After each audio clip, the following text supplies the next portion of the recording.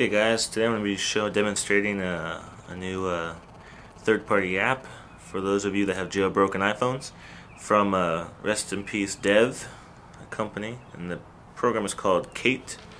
So let me just go ahead and show you how this works. Okay so I've already installed it. I've already gone to installer and put it in there. It's the one in the top corner right there. A little bug looking one called Kate. Click on that. It loads up Okay, so these are all the um, all the things that you can adjust and change. These little this list right here.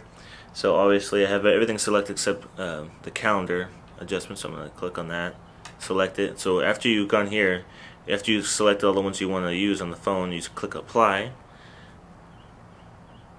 The little loader screen installs that. After that, you're going to want to do restart says the software was successfully installed. We recommend restarting your iPhone now to apply the changes. So I'm going to restart it. And this is going to take about uh, 20 seconds or so, so I'll probably speed the video up here. Okay, so we're back. So now the first thing you can notice is on my uh, lock screen it shows a calendar. So if I have any if I have any events scheduled on my calendar, they'll show up like right there on the 29th, which is today and it has well you can't really see the screen but there's you know the little dots in the bottom right corner on the calendar which usually shows up on your iPhone's calendar. So that's obviously the first one of the first adjustments you can make. So after you've chosen which uh, which things you want to adjust on there from from here from the Kate menu now you're gonna go to your settings menu. And when you scroll down there should be a new thing down there rest in peace dev select that so these are the different things you have options to do so I'll just go through one of them, quickly go through it. So this is where you keep track of your licenses.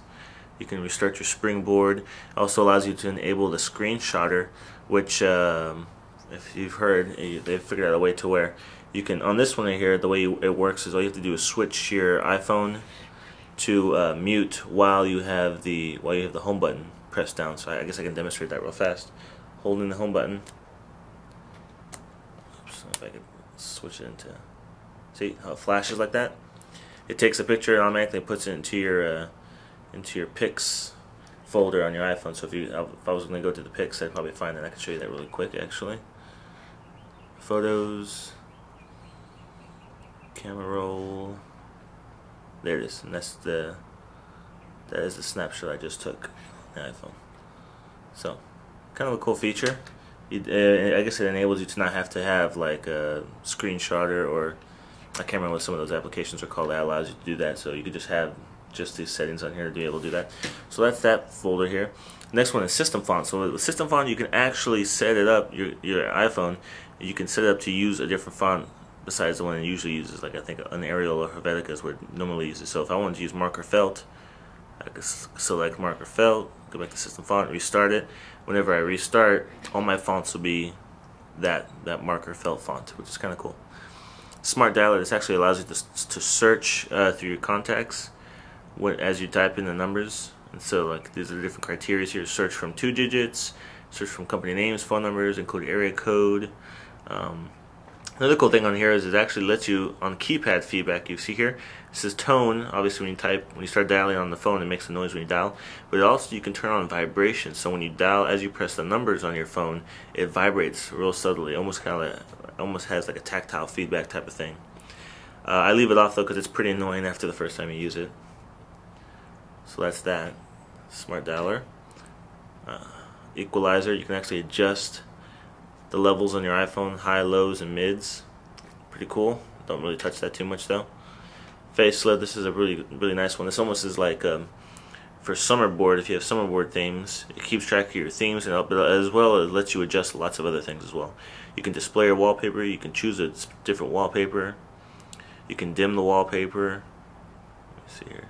Turn off your text labels, you can change the colors of those labels in the background. Oh, it keeps jumping on me here. You can show the background, you can make your dock reflective. Another cool feature I turned on is you can have five icons in your dock, which is what I have right now on mine. So some other different options right there. A lot of cool things you can tweak right there. Calendar, like I just showed you, whenever you go to your home, whenever you go to your lock screen, it'll show your calendar up in that corner right there.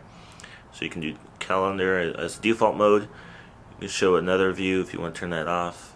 You can turn that off. But you can turn it on. Oh no, let me turn it on now. There you go. Put birthdays, all all all different types of things for the calendar. Calendar options as well.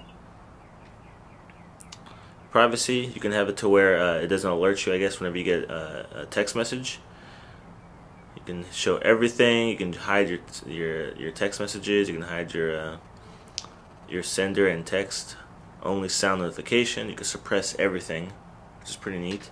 And you can also add custom sounds too. So right now I have ICQ. I don't think it's gonna play for out loud, but it basically just changes the sound it makes whenever you get a text message, which is pretty cool. You can turn on night mode if you want to, and uh, which enables so I guess it doesn't uh, it doesn't if you get any text messages in the middle of the night, it won't uh, make any noise or anything or wake you up. And you can you can already see um, since I changed my fonts, the numbers are in marker felt. That font I just changed it to. I'm not sure if you can tell right there. So I will leave this off because I like getting my text messages even if it's at night.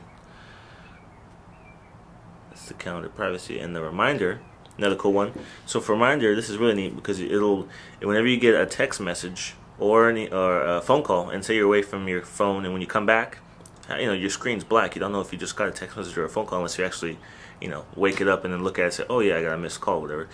So if it just sits there, you're not going to know. But the cool thing about this is if you get a text message or if you get a phone call and if it's just sitting on there on your desk, you can actually tell it to remind you in intervals. So like say every two minutes, if I walk to my desk and my I just got a phone call I didn't know about it, every two minutes my phone is going to make a beeping noise and let me know, hey, you got a, a missed call. Turn on your phone, you know, wake it up so you can see who it is, which is pretty nice especially when um, you know if you get if you get a lot of text messages when you're not in the office or when you're away from your phone, you come back and you you don't even think to look at it sometimes, and it could sit there for an hour until you actually turn on your iPhone and like, oh, I just missed a text message from an hour ago, you know.